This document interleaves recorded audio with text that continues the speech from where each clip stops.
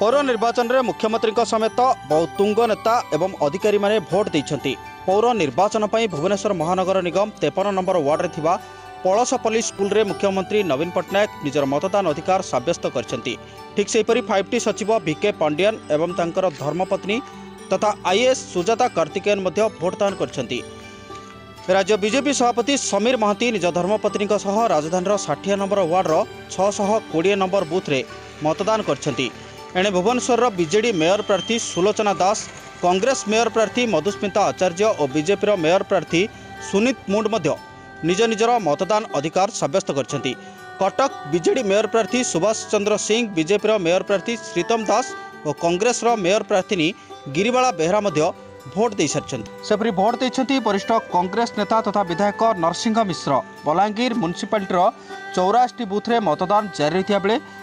लक्ष्मीनारायणपड़ा school में vote दे नरसिंह मिश्र सेपरी भोट दे गिरीवाला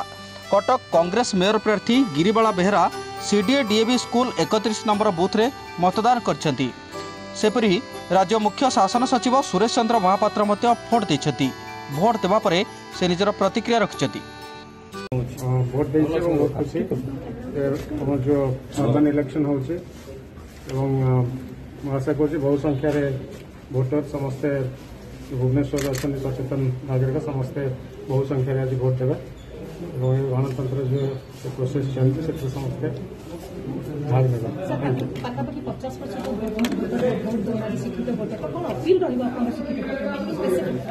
एक्चुअली अर्बान एरिया नर्माली बहुत भोटर ट्रांसफर होकर बाहर को पलि जाता रिटायरमेंट पर भी अनेक लोक अगर जगह को पलि जाते सेमती भी बहुत भैकेसी थाए और डेथ केस भी बहुत टोटल थी जोटा कि रूराल एरिया प्राय क्लीअरली जना पड़े और से एलिमेट करते आशा करी जिते भोटर अच्छे भुवनेश्वर में सब अर्बान एरिया समस्ते आसी भोट दिंतु इलेक्शन प्रोसेस से समस्त भाग सर कि देखा हो किसी तो त्रुटि नर्माली से हुए जेहेतु तो हजार हजार संख्यार इम यूज करा किसीटा के टेक्निकल डिफेक्ट था कि आम स्पेयर इम आम जो स्क्वाड सब अच्छा स्पेयर इम था इमिडियेटली रिप्लेस कर